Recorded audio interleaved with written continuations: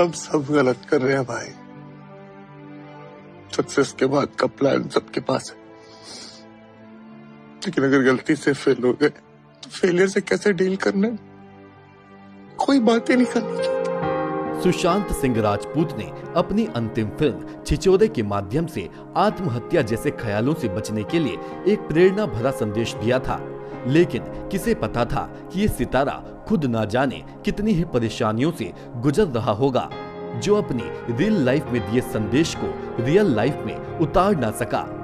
बिहार से जुड़े बॉलीवुड अभिनेता सुशांत सिंह राजपूत ने रविवार को मुंबई के बांद्रा स्थित अपने फ्लैट में सुसाइड कर लिया। वे फ़िल्मों के साथ थिएटर और टीवी अभिनेता भी थे।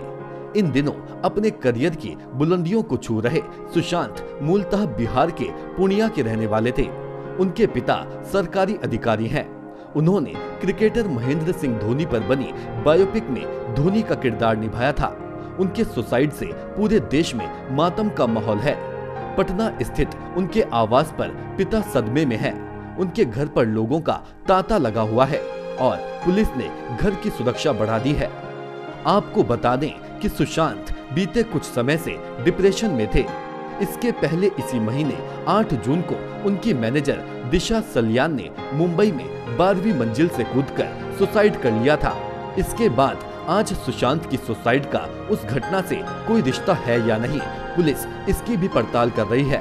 सुशांत ने फ़िल्मों में शुरुआत बतौर डांसर की। टीवी सीरियल पवित्र रिश्ता ने उन्हें खास पहचान दी।